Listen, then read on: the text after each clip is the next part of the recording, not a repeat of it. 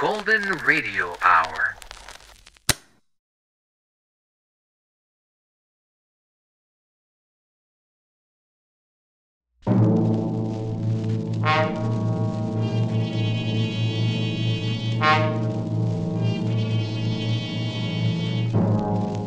You are trapped in the dark cellar of your home.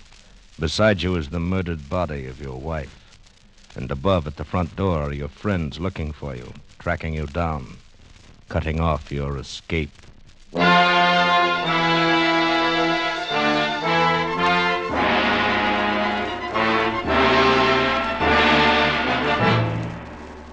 Escape, produced and directed by William N. Robson, and carefully contrived to free you from the four walls of today for a half hour of high adventure.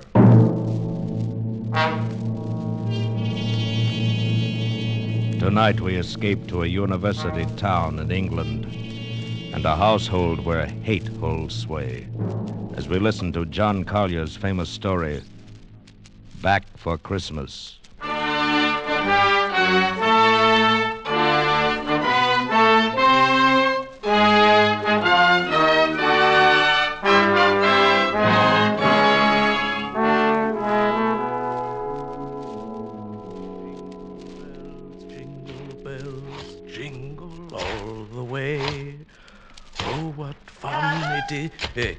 Yes, my dear. What on earth are you doing down here in the cellar? Why, just a little digging. And why, may I ask, have you chosen this day of all days to dig up the cellar floor? Why, I thought as the weather has been so damp, this would be an excellent time to plant my devil's garden. Devil's Garden? Whatever nonsense is that? Oh, th- that's my little joke about it. You see, I've managed to secure some of the spores of several unclassified wild orchids. In their natural state, they bloom under damp masses of leaf mold. The Araucanian Indians call them devil flowers because they appear to bloom under the ground. Well, I'm sure the Araucanian Indians will be very interested if you succeed in growing these ridiculous flowers under the cellar floor. Whom else it'll interest, I can't imagine. What's that terrible smell? Why, that's the leaf mold, my dear. Chemically identical with the earth blanket they grow under in the wild state. I really should line the pit with concrete so as to prevent seepage from this foreign soil. But I don't suppose there'll be time for it now. There certainly will not be time for it. Do you realize that we're sailing for America a week from today, and you've made no arrangements whatever? Unless you call digging a hole in the cellar making arrangements. I certainly don't. Devil's garden, indeed. Sometimes I think you're going soft in the head, Herbert. Well, I suppose it's inconsiderate of me. But you see, I've been wanting to try this experiment for a long time. But what with my lectures and seminars at the university, there never seemed to be time. Well, there certainly isn't any time for it now. I suppose you've forgotten I made an appointment for you at the barber's this afternoon. Oh, must I shave off my beard, Hermione? Now, we've been all through that. Of course you must. They don't wear beards in America. Go and get your jacket on and do as I tell you. Yes, Hermione. And don't forget to take your umbrella. It looks like rain. Yes, Hermione. Oh, don't look so put upon, Herbert. Someone has to plan things in this house, or you'd never even get to the university in time for your lectures, much less make arrangements for a trip to America. I know, but what of my specimens? There'll be plenty of time to plant your precious devil's garden when you get home from America. We're not going to be gone forever, you know. We'll be back here for Christmas. Yes, of course. Back for Christmas. I'd forgotten. Well, try to remember it. And if you can't do that, just do as I tell you. I've been making the plans in this house for 20 years, and if there's any digging to be done, I'll manage that as well. You understand, Herbert? Yes, Hermione. Good. You have just 20 minutes to clean this mess up down here and keep your appointment at the barber's. And when you finish there, I want you to come straight home. Why, I, I wanted to stop at Miss Markham's and pick up some books I ordered. Well, all right. But don't loiter there the whole afternoon, browsing over those old books the way you usually do. Now hurry and clear up this rubbish. Get rid of that smelly stuff. And no more digging, mind you. Yes, Hermione.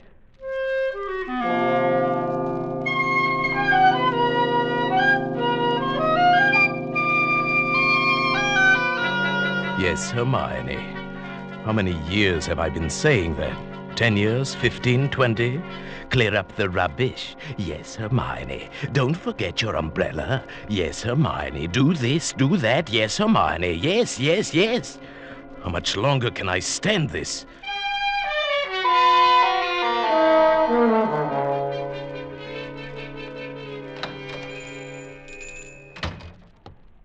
Good evening, sir. Good evening, Miss Markham. Why, it's Professor Carpenter, isn't it? You didn't recognize me. Oh, you look ever so much younger without the beard. Twenty years at least. Twenty years. Oh, you'll be glad to know those books you ordered have finally arrived. Hmm? Books? Phytotomy of phalloid gametophytes and coniferous shrubs of North America. Those are the ones you ordered, aren't they? Oh, yes, yes. Thank you. You're very kind, Miss Markham. Why kind, Professor Carpenter? Well, not many young ladies in bookshops would go out of their way to look up rare books for an old professor of botany. Oh, why, you're not old, Professor Carpenter. Really, you look. Oh, and besides, I adore botany. It's my particular hobby. Oh, really? Well, you never told me that before, Miss Markham. Oh, I was afraid to. You were so. Oh, so imposing with a beard and all. Well, I. You might be interested in some specimens of alpine polyanthes that were sent to me by a friend in Switzerland. Switzerland? I used to go there for my holidays before the war. You like Switzerland? Oh, I love every part of it. The lakes, the mountains, the beautiful spring flowers. Oh, especially the flowers. Oh, yes. It seems we have quite a lot in common, Miss Markham. I'm I'm sorry we haven't talked before. Oh, I am too. it is all the fault of the beard, I suppose. Miss Markham, forgive me if this sounds foolish, but I feel that shaving off my beard is the most important thing I've done for 20 years. Oh, it is. I'm sure it is. I'm ashamed that I've been so distant with you all the time. Oh, there were times when I almost spoke up. Times when you came in here, tired after day with your students at the university. Oh, you seemed so alone. The way I'm alone in the world. I'd like to have asked you to stay a while and talk with me. But some way or other, I, I wound up giving you your change and letting you go on your way. You. You say you're all alone in the world? Since my father died. Well, did you never think of marrying? My father was a very remarkable man. I never found anyone who, who seemed to measure up to what he led me to expect of men. And then the war came. Miss and- Markham, oh, I- It, it's been so long since anyone called me by my first name. I'd like you to, if you don't mind. It's Marion. Marion. And yours? Uh, Herbert. How long have you been alone, Herbert? Uh, alone? Oh, I knew you were a widower, of course, the first time I saw you. A widower? Oh, I can always tell. There's a certain sadness in a man's eyes. A sweet sadness, I think, when he's been married and then. A widower? I never thought of it in quite that way. Oh, perhaps I shouldn't be talking like this. But I've often wondered what she must have been like. Your wife, I mean. Hermione? Hmm. Not an easy woman to forget. Very strong, always managing things. The house, my wardrobe, my friends. When we dined at a restaurant, she even ordered my food.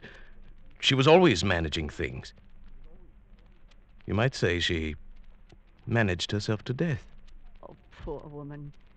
She must have loved you very much. But she needn't have put herself out so. It's plain to see you don't need things managed for you. You need companionship, I think. Someone sympathetic with your work. but the last thing on earth you need is a manager. How well you put it. The last thing on earth.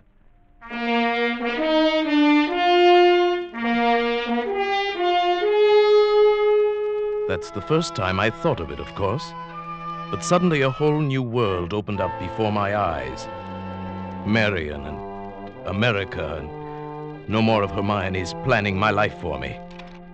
By the time I got home, my mind was working overtime. Well, at last. You certainly took long enough about it. What are you looking so pleased about? I don't really know. Getting rid of the beard, perhaps. I feel 20 years younger. You look even smaller.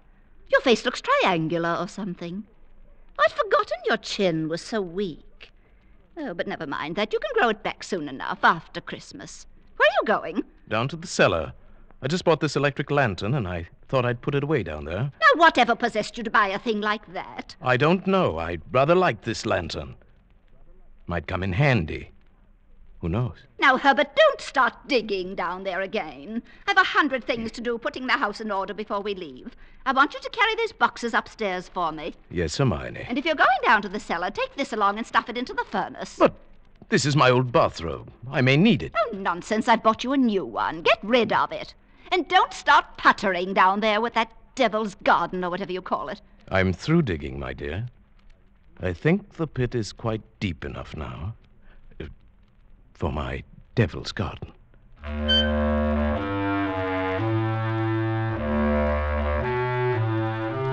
It would all have to be carefully planned, of course. Just as carefully planned as Hermione was planning the trip to America. We both went about our respective engagements as the days passed. I spent all the time I could with Marion, and finally she consented. And then it was the last day, the big day, the day we were to sail for America. Operator! Operator, are you there? I'm still waiting on that call to Salisbury. Oh, well, put them on quickly. Hello? Is this Paul Holt and Sons? Mrs. Herbert Carpenter here. Did you receive my letter? Oh, good. Now remember, we'll be back for Christmas, and I want the job done without fail. What's that? Oh, no, I'm sure he doesn't suspect anything. Send the bill to me in New York as I instructed you. Oh, thank you. Thank you so much. Oh, there you are, Herbert. Where have you been? Backstairs. I dismissed the servants. Dismissed the servants. But I've asked some friends in to a farewell tea. Go and tell them it's a mistake. I'm afraid it's too late now. They've packed and gone. Oh, you have messed up things properly.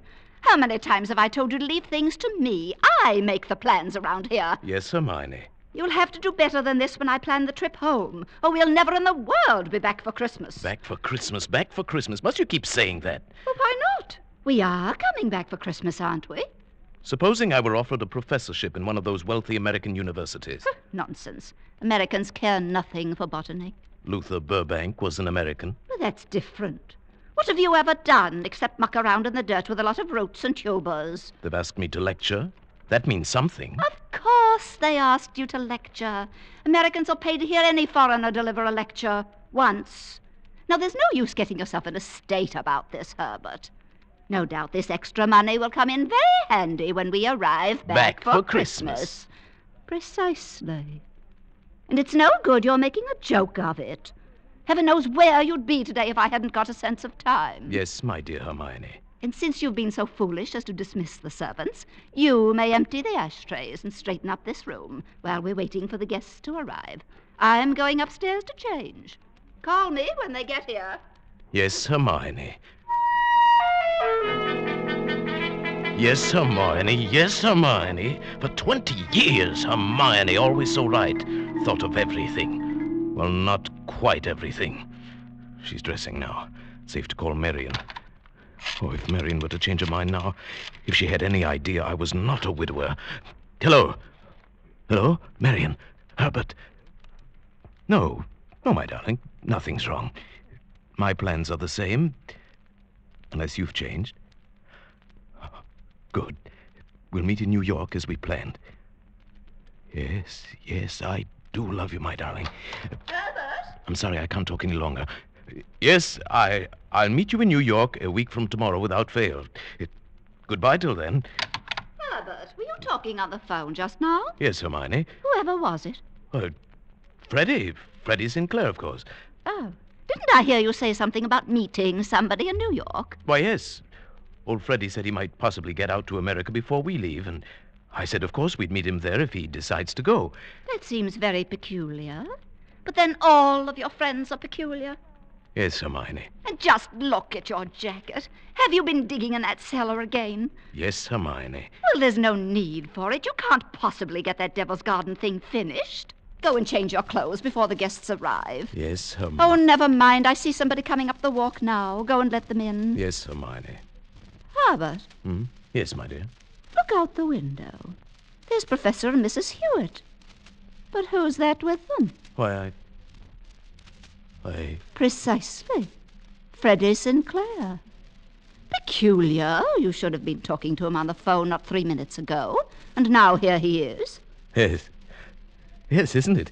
Uh, but then, as you say, Hermione, all of my friends are peculiar. Not half so peculiar as you.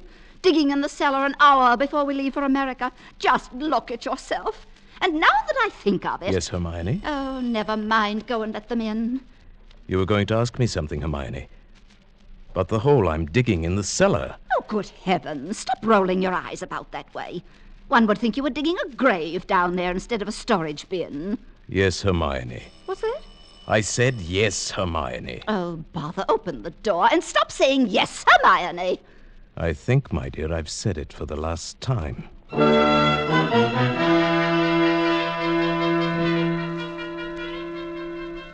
Back for Christmas. Hermione was so positive we would be back for Christmas. That last afternoon, pouring tea for a few friends who had come in to say last minute farewells, she kept reiterating. Oh, I promise you, Mrs. Hewitt. Remember, we absolutely must have you with us for Christmas. Oh, we'll be back. It's not absolutely certain, of course. Oh, Herbert, what do you mean it's not certain? Of course it's certain.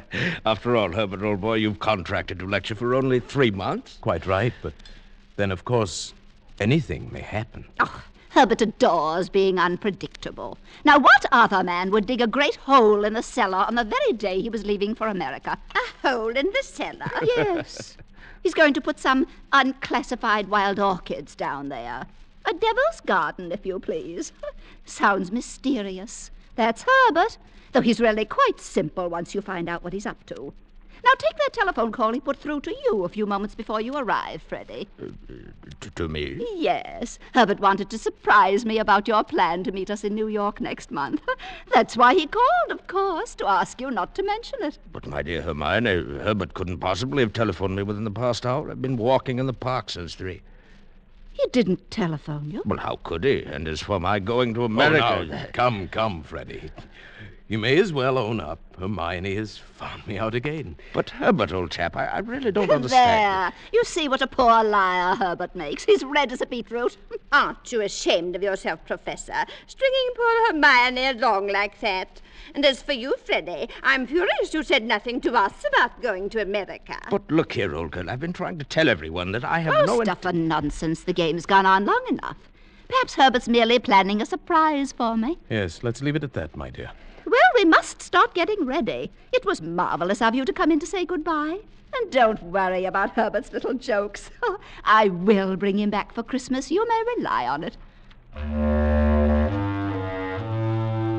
They all believed her. For years, she'd been promising me for dinner parties, garden parties, committees, and the promises had always been kept. This time they wouldn't be. I'd seen to that. The servants were gone for good, the farewells all said. I had timed to the minute how long it would take to fill in the hole in the cellar, in my devil's garden. Upstairs in the bedroom, I undressed, folded my clothes over a chair, and put on my old bathrobe. Then I opened the door into Hermione's room. Are you ready, Herbert? Hmm. Hermione, have you a moment to spare? Of course, my dear. I've just finished. Then do come in here for a moment. Uh, there's something rather extraordinary here. Good heavens, Herbert, what are you lounging about in that filthy old bathrobe for? I told you to put it into the furnace. I shall do it today, yes. I really will, I, I promise. Well, high time. Now, what is it you want to show me? In the bathroom here. Just look. Who in the world do you suppose dropped a gold chain down the bathtub drain? Nobody has, of course. Nobody wears such a thing in this house. Then what's it doing there? I don't see anything. Here. I'll hold this flashlight for you. If you lean right over, you can see it shining deep down. Oh, such a lot of nonsense. Just whisper. I don't see it, Herbert. Go on looking, Hermione. In just a moment. Herbert, I absolutely refuse to wait. Herbert, what are you doing? Take your hands off my neck. I will, Hermione, just as soon as I've finished the arrangements for my trip to America. What are you talking about? You thought you were the only one who could plan things, didn't you, Hermione? Well, I've been making some plans of my own this past week. In exactly two minutes, you'll be dead, Hermione. You see, two minutes. I've planned it very accurately. You'll never get away with it. Let me go. I thought you'd say that, but I will get away with it. You won't mind the smell of the leaf mold down in the cellar when I take you there today. Yes, that's where you're going, Hermione. Into my devil's garden that annoyed you so much. The soil is full of clay. It won't settle too much. In a month or so, it won't even look as if it had been dug up. My friends, they all expect me back for Christmas. Hmm. They don't hear from me, they'll wonder. And if I don't come back, they'll start asking questions. Oh, no, they won't. Because you'll write them letters, Hermione, on the typewriter, as you always do. They'll be signed H in that neat, cryptic way you always sign your notes to your friends. Let me up No. It won't work, Herbert. You never were any good at planning things. Oh, but I've changed, my dear. I've learned from watching you all these years.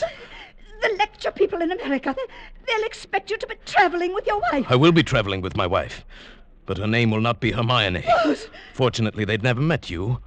I'll write a few letters home for you, then fewer and fewer. Write letters signed with my own name, always expecting to get back, but never quite able to. Keep the house one year and then another and another. They'll get used to it. I might even come back alone in a year or two and clear it up properly. Say you died in America. Nobody will ever suspect you're lying under the floor of the cellar in this very house. Oh, but it won't I tell you. That pit you dug in the cellar, I'm... I can assure you, my dear Hermione, it will serve its purpose well. Sorry, my dear. I've got to get this done on schedule. You have just five seconds to say your prayers. Herbert, you must listen. The cellar. Don't do it, Herbert. Herbert! Oh. Hey! Hey!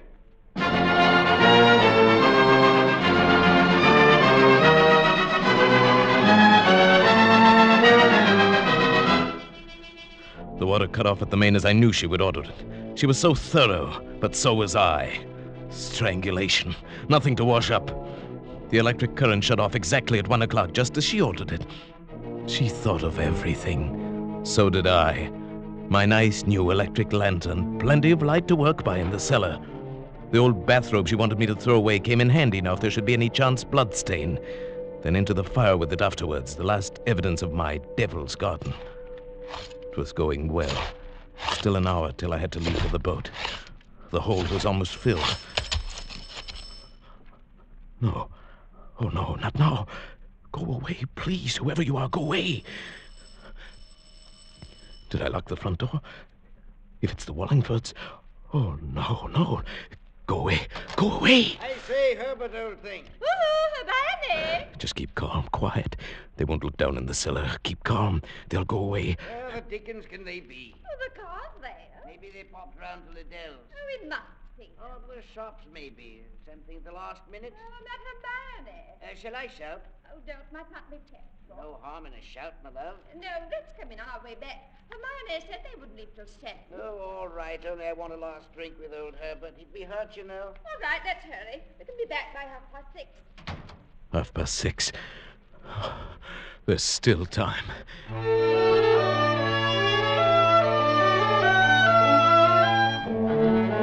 After that, it was easy.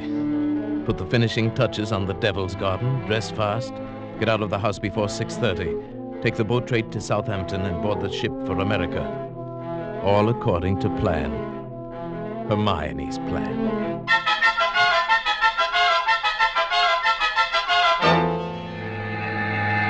Oh, uh, I say, Stuart. Right, sir. Uh, my wife is indisposed. She'll be taking her meals in our stateroom. Oh, for, for, for the old voyage? Yes, for the whole voyage.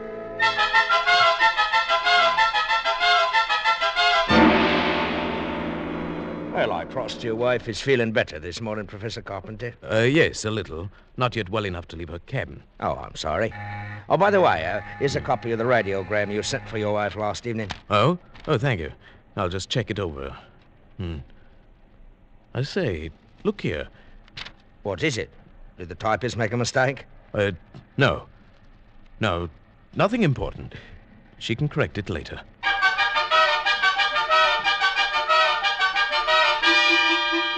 For a moment, I had the feeling that Hermione had been leaning over my shoulder again, correcting what I'd written, as she always did. I had written a radiogram to Professor Hewitt and his wife. Haven't been out of my cabin the whole beastly trip. Herbert well. We now doubt we will be back for Christmas. The copy read, We no doubt will be back for Christmas. Exactly what Hermione would have written. The rest of the voyage was uneventful, and Marion and I met in New York and were married just as we'd planned. Just as we'd planned.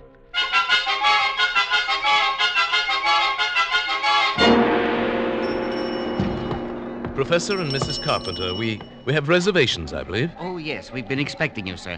Boy, take Professor and Mrs. Carpenter's luggage up to their suite. You know, Mrs. Carpenter, you're quite a surprise. Your letter reserving the rooms was so uh, thorough. I was expecting an older, more forbidding sort of person, frankly, ma'am. Oh, no. As a matter of fact, we're just married. But my letter reserving the room. Uh, I wrote the letter, my dear, and signed it Mrs. Herbert Carpenter. Purely a joke. Oh, what a cunning old fox you are, Herbert. Now that I think of it, I am, rather. Oh, I almost forgot. Uh, there's a letter for you, Mrs. Carpenter. A letter for me? I wonder who on earth. Well, we shall find out in good time. Come along, my dear. We're keeping the boy waiting.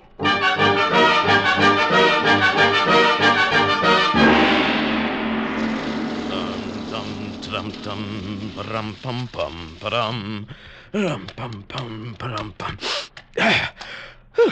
Nothing like a cold, brisk shower to put a man to rights. Herbert, this letter. Oh, yes, the letter. Uh, dry my hair, will you, dear? It seems to be a bill of some sort from a building contract in Salisbury.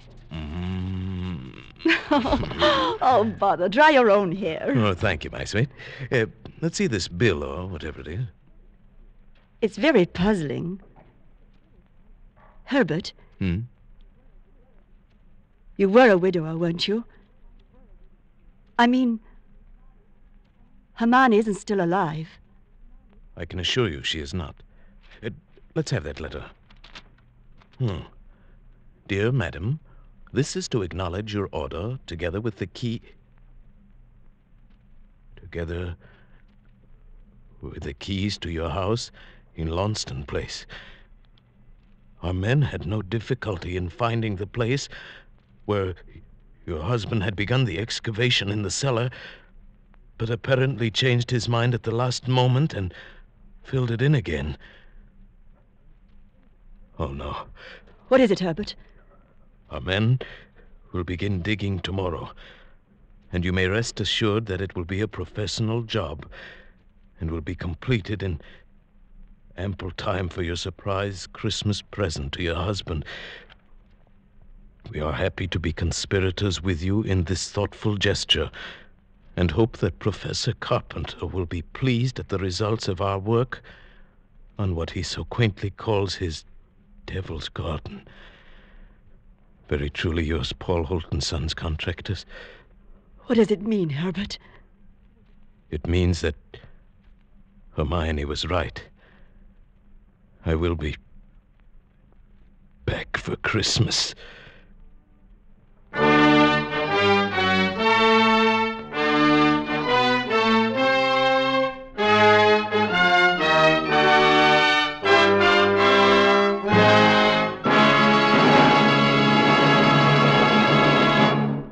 Escape is produced and directed by William N. Robson, and tonight brought you Back for Christmas by John Collier. Adapted for radio by Robert Tallman, with Paul Frees as Herbert, Eleanor Audley as Hermione, and Marta Metrovich as Marion. Music is conceived and conducted by Cy Feuer. Next week, You were lost in a London fog, exhausted and frantic, unsure if the figures looming around you are real or creatures of your fear. And behind you, pursuing you, intent on killing you, lurks a murderer from whom you must escape.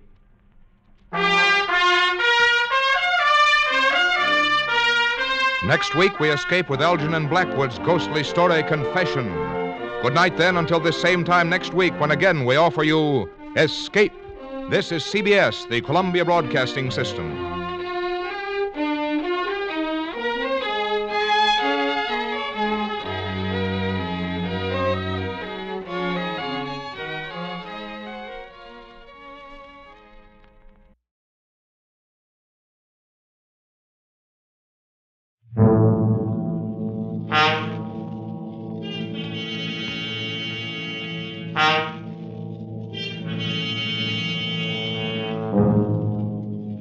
lost in the London fog, uncertain whether the figures looming around you are real or creatures of your imagination.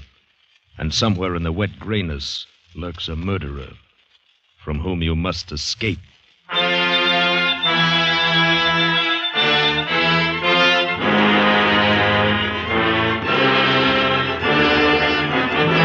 Escape, produced and directed by William N. Robson and carefully contrived to free you from the four walls of today for a half hour of high adventure.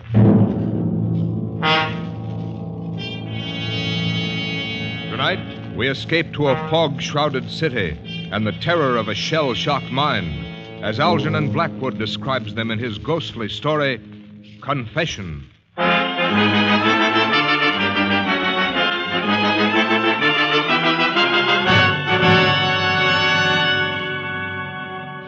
Was no doubt about it. The woman was dead. Her cheek was cold to my touch. The head of the long, sharp hat pin protruded from her breast above the heart. She was dead, murdered. And I stood there by the bed, my brain whirling crazily. I was alone in an empty house with a murdered woman.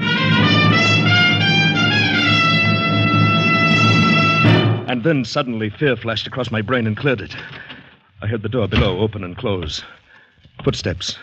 Someone was coming across the downstairs hall, onto the stairs. Coming up. Up here. In a moment, I would be discovered. In a moment, someone would walk into this room and see me standing over the body. In a moment, my escape would be cut off. Quickly, I slipped across the hall and into another of the empty bedrooms. I leaned against the closed door, breathing heavily, listening to those steps come closer. Would he look into any of the other bedrooms first? Would I be discovered here? He passed my door and went into the room, straight in, closed the door behind him. Then he knew where to come. I waited a moment, waited for some sound, some gasp of discovery. There was none. Then he knew what to expect. I must escape quickly before he came out of that room. I started down the stairs, carefully, to avoid any sound.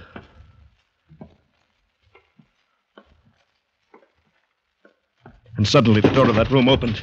The beam of a flashlight searched down the hall. I took the stairs three at a time, burst open the front door, and fled into the street, fled into the sanctuary of the fog.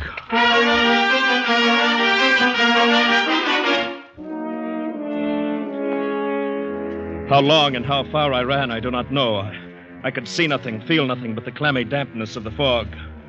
I don't know whether he was still following me or not. I ran out of sheer terror, up one street, down another, with no idea of where I was or where I was going. Perhaps I was running in circles. Perhaps I would run right back to the house. Well, I stopped. I leaned heavily against the wall. My hands were shaking as I raised them to my perspiring face. I held them there to steady them, ran them through my wet hair. My hat. I didn't have it. I'd left my hat back there in that room, on the bed beside that dead woman. And it had my initials in it.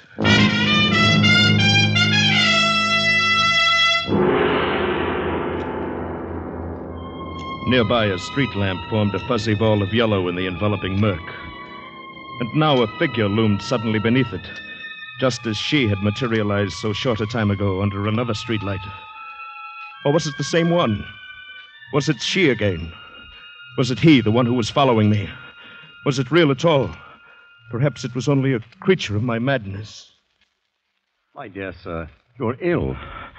I. Oh, here, old fellow, let me help you. Why, you're almost ready to fall. Yes, sir. Thank you. Here, just lean on my arm. Yes. You are real, aren't you? Real? I don't understand. I say, you're very near collapse, you know. And I happen to be a doctor. Luckily, too, you're just outside my very house. Come in for a moment, won't you? Why, I, you're very kind. Uh, yes, I will, if it's not too much trouble for you. None at all, my dear chap. Please do.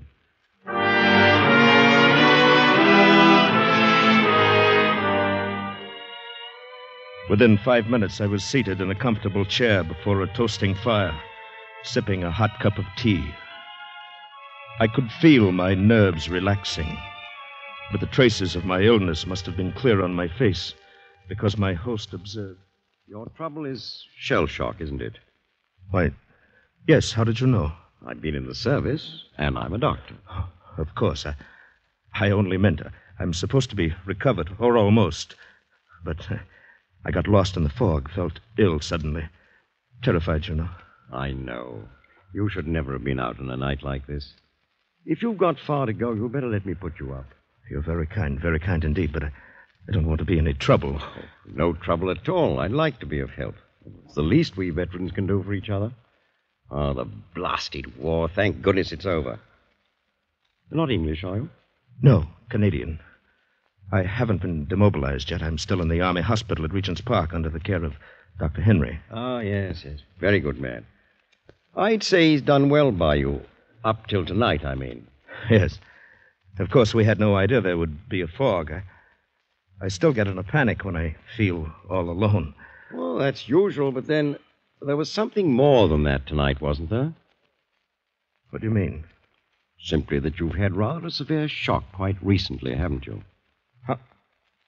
How, did you know that? My dear chap, I'm a doctor. My business to know.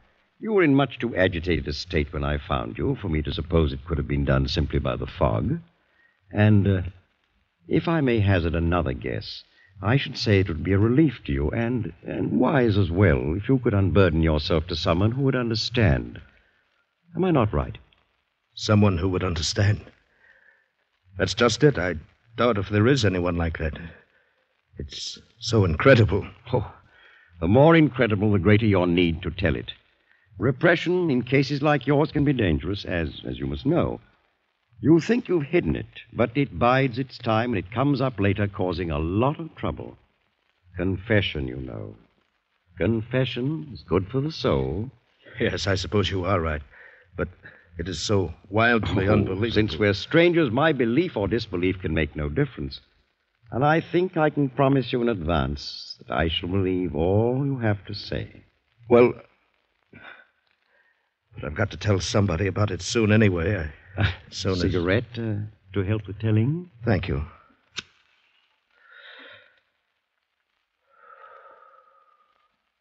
Thank you. Well, I'd better start back at the very beginning of the adventure then. It started today at the sanitarium. I've been there for some months, and today, when Dr. Henry called to check on me, I knew. it Well, was young going- man, you're as fit as a prize heifer and twice as frisky. The diet here must agree with you. I've no complaints, Doctor, but if I'm well again, then I'd like to get back into circulation. Will you listen to him, nurse, rushing things as usual? You'd think he didn't like us here. Oh, the way he bothers us to let him go into town, I'm sure of it, Doctor. He's getting so healthy, he's bursting at the seams. There, you see? How about it, Doctor? Can't I just have a day or an evening in town? What's the great attraction in that dirty place? Some girl, no doubt? Well, yes, that is in a way. I, I met her in France. She's a Red Cross girl. She's invited me to stop in for tea if I'm up in London, and well, it's just that I'd I'd feel human again, seeing a girl having tea, a cigarette, chatting.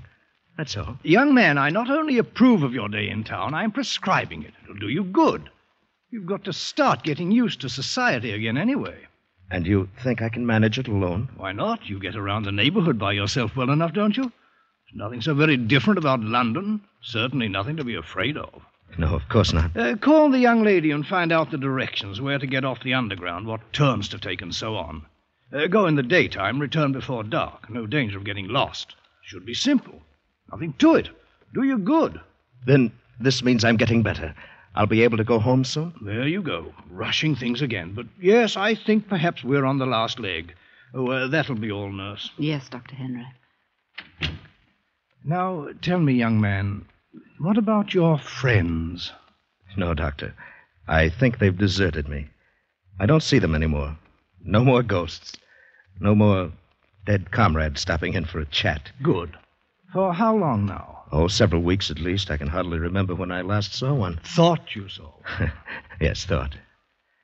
Of course, in the dark room at night, sometimes the That's shadows. not are- quite the same thing. Lots of well people fancy they see the shadows move at night, especially after they've been reading some penny dreadful. yes, I suppose so. Uh, at any rate, you can distinguish between the real people and the unreal now, and that's a big step considering how you were a few months ago.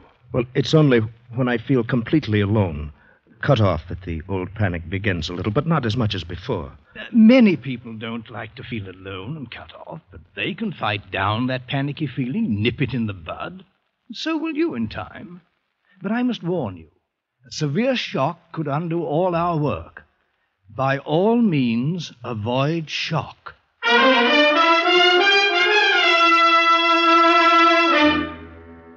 Avoid shock, he said. Very funny, isn't it? But who could have known then what would happen?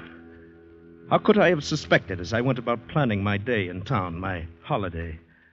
I called the girl, arranged our tea party. I was to be at her little house in Morley Place at four. So he's defined the first time. With your Canadian backwoods instinct, she'll probably manage it better than any Londoner. yes, I'm sure I will. It's near South Kensington Station, then. Change at Piccadilly Circus Yes. without leaving the underground station and come to South Ken. That's three streets left from there, then two right, one more left, and right again into Morley Place. It's really not far. Oh, I'll find it, all right. Now, don't go to any great bother. Oh, you just leave that to me. This is a special occasion, you know. Till four, then. Until four. Yes. Thanks.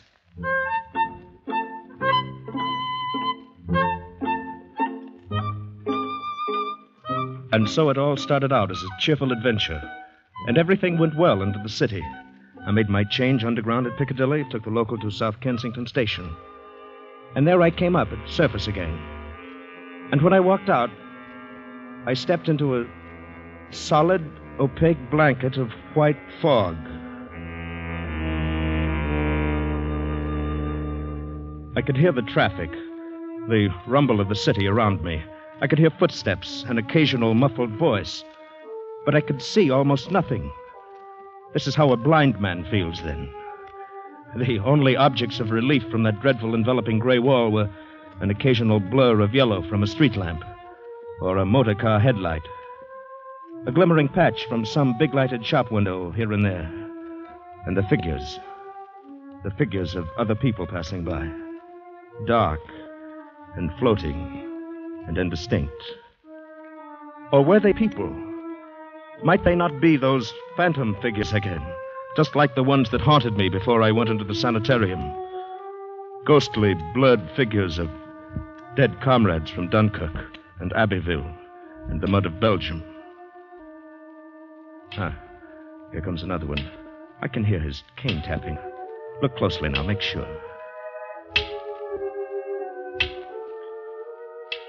There. He looked real enough, didn't he? They are real, I'm positive of it, and I'm not alone. They're all around me. But even as I told myself this, the old panic was growing inside. Here now, old fellow, you've got to get hold of yourself. Next one comes along, speak up. Speak up to him. Ask him the way to Morley Place. Ask, can you put me on the trail to Morley Place? Just like that. You'll see. Here now. Here he comes. Ask the way. Beg pardon. Can you put me I on. say, is this right for the tube station, do you know? I'm utterly lost. I want South Kensington. Why, why, yes, I have just come from there. Straight along, I think. Oh, thanks awfully. Oh, but I say, can you put me on the trail to Morley Place? He's gone. Well, no matter, he was real enough. He spoke up like a real person, all right. Maybe the next. Oh, I say, I beg your pardon. Oh, I'm frightfully sorry. I, I didn't see you and you standing still. I'm afraid I, I must be lost. Can you direct me to Morley please? Oh, dear, I, I think you've missed your turning. You'll, you'll have to double back a street and maybe two and take the first turn to the right and go one street and then double back two and then left again. and you'll come. to... I'd say thanks. That was first right, and then. She's gone. Disappeared. Like a ghost.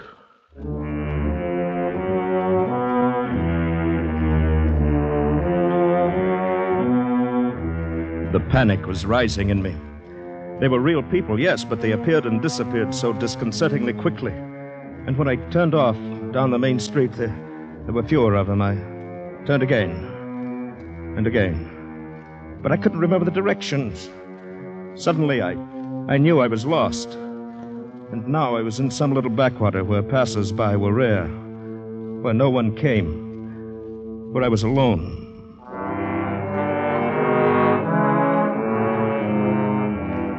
Now the panic swept over me. I stumbled on a curb. My cane swept empty air. I fell to the icy pavement. I was shaking so that I couldn't rise to my feet. I crawled across the open space of the street on my hands and knees. Only when I crossed the curb and felt a warm wall could I stand up again. And then I stood there, shaken and frantic. Morley Place must be very close, the little Red Cross girl waiting with her warm fire and hot tea. But where? Where?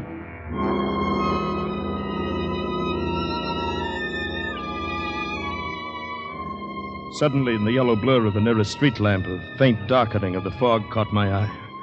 It was not a figure this time, only the shadow of the pole grotesquely magnified. No, no, it moved. It came toward me. It was a figure, a woman. It came right up to me. Fear gripped me, and then I remembered the doctor's advice. Don't ignore them. Treat them as real. Speak to them and go with them. You will soon prove their unreality then, and they will leave you. And so I gripped the wall behind me and spoke to her. Lost your way like myself, haven't you, ma'am? Do you know where we are at all? Morley Place, I'm looking for. Where am I? Well, I say you're more frightened than I am. Uh, may I help you? I'm lost. I've lost myself. I can't find my way back. Same here. I'm terrified of being alone, too. I've had shell shock, you know. Uh, let's go together. We'll find our way together, eh? Who are you? Name's O'Reilly, Canadian. I'm going to have tea with a friend in Morley Place. Uh, what's your address? Do you know the name of the street here? I suddenly, unexpectedly. I can't find my way home again. Just when I was expecting him Oh, I to. say, steady, ma'am. He may be there now, waiting for me at this very moment, and I can't get back. Have you any idea of the direction, ma'am? Any at all? We'll go together. Listen. I hear him calling. I remember. Wait, ma'am. Wait. Don't leave me here alone. I'm going with you. Wait. She was running fast through the fog. It was all I could do to keep up with her. But I felt I must not lose her, or my own nerves would go to pieces. How she found her way in the fog, running so quickly, I didn't know, but I kept close on my heels, running hard. I could smell a faint perfume in the air, trailing behind her. A faintly familiar odor, but not pleasant. And then suddenly she stopped and turned into the gate, so suddenly that I almost bumped into her. Oh, is this in? You found it then? Uh, may I come in with you for a moment? Perhaps you'll let me telephone my doctor. Doctor, Yes, Dr. Henry at the Army Hospital. I'm in his care, you know. my home is somewhere here. I'm near it. I must get back in time. For him. I must. He's coming to me. I, I say, ma'am. But she turned and walked toward the house. For a moment, I hesitated. This woman was acting very strangely. But no matter, it, she was at least real, and I needed help. Quickly, I followed her up the steps across the porch. The door was ajar. She slipped through, and I followed into the dark house. It was so dark inside, I couldn't see anything at first. I, I stopped, groping. But she went on quickly, easily, as if she knew the way. She was ignoring me completely. I heard her steps cross the hall, go up the stairs quickly. I waited and listened. She walked along the hall upstairs. Where? Oh, where is it? I must find it. And now the hair on my neck felt as if it were rising. Was she, after all, another of my figures? Was she unreal, too? Oh, At last, I've found it. I'm home again. I heard her open a door upstairs, go in and close it after her. Then there was silence, profound silence, and I was alone in a dark, unoccupied house. The white covered furniture in the hallway loomed like ghosts, and there was no sound. I felt my panic coming back, but she was upstairs, and at least she was companionship.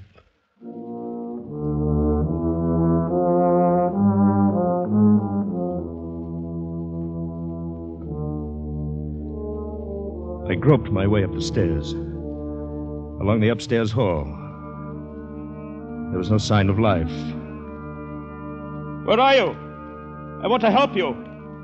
Which room are you in? There was no answer.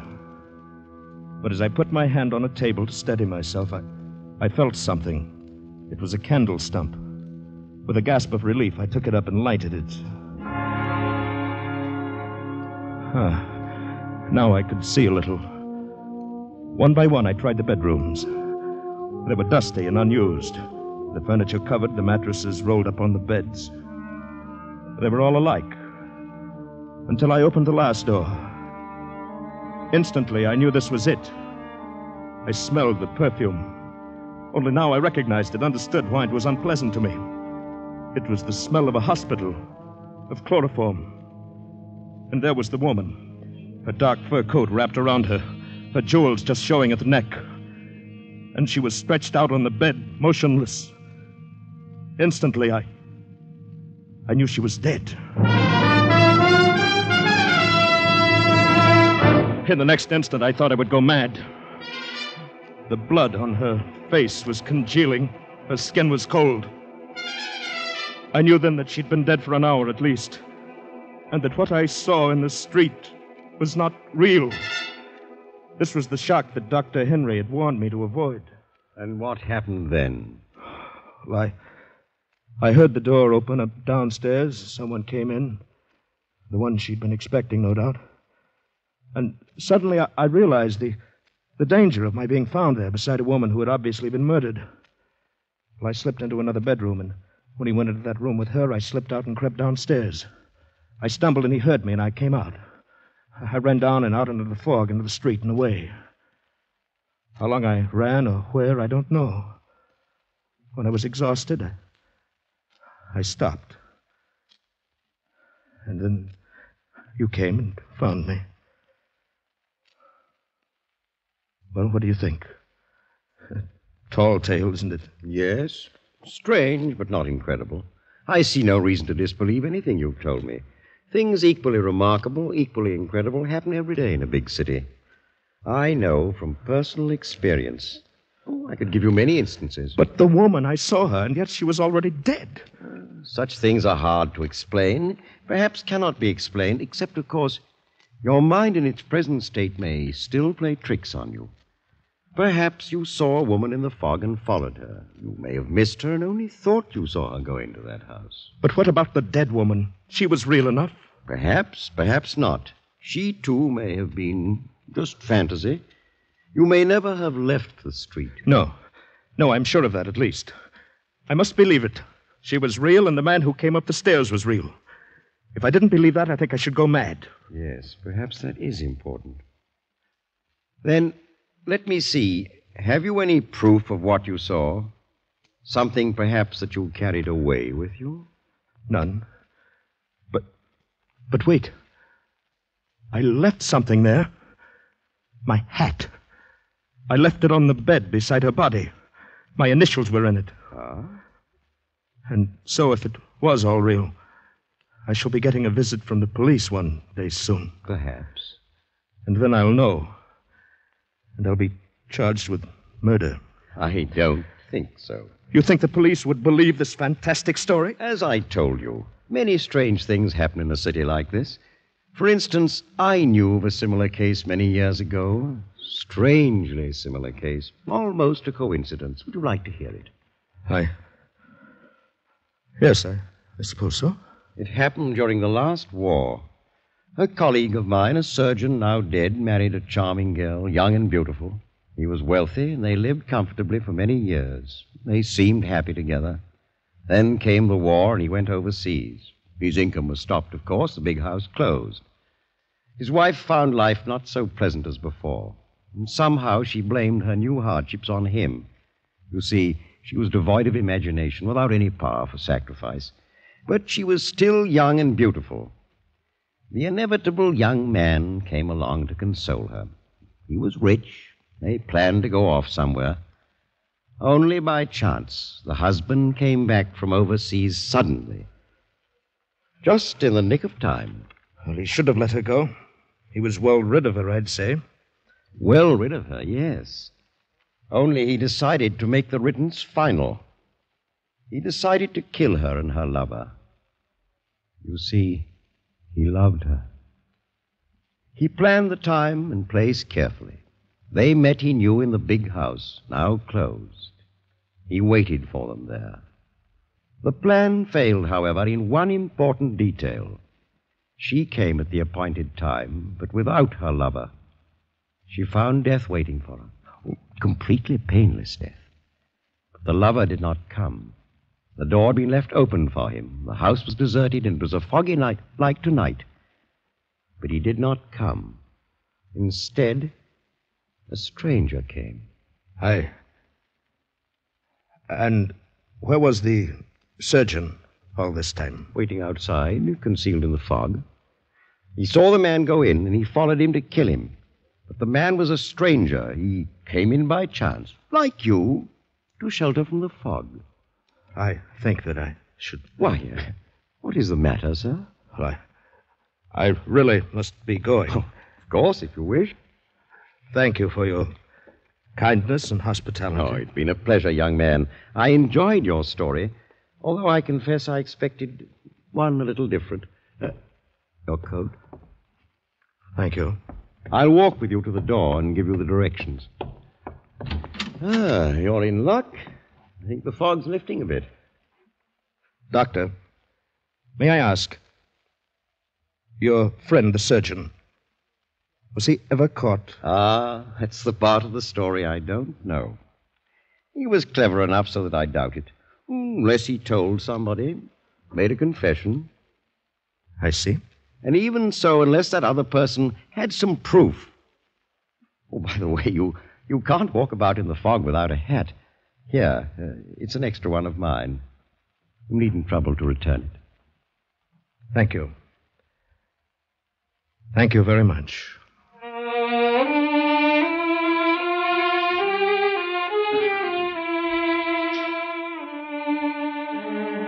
I went out of his consulting room with the hat on my head. In ten minutes, I was at the tube station. It was only there that I permitted myself to take off the hat and look at it. It was my own. The hat I had left on the bed beside the dead woman.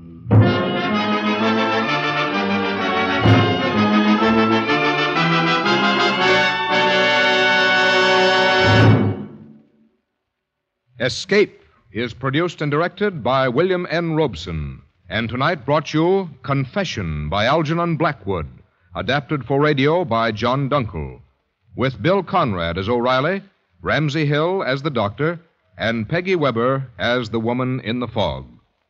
Music was conceived and conducted by Cy Feuer. Next week, You were trapped in the dark maze of the native quarter of Mozambique.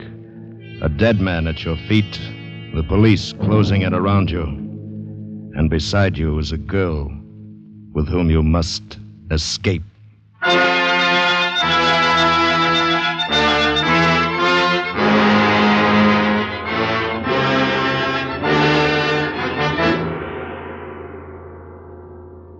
Next week, we escape with Perceval Gibbon's fast moving adventure, Second Class Passenger. Good night, then, until this same time next week, when again we offer you Escape.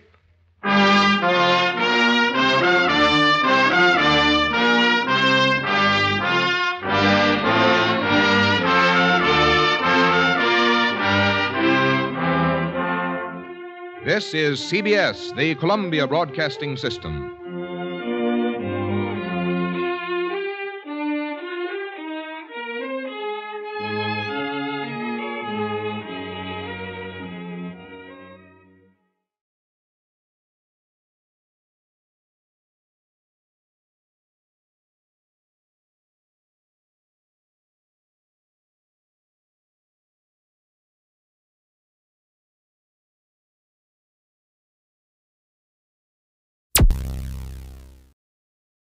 Thank you for listening. Please like and subscribe.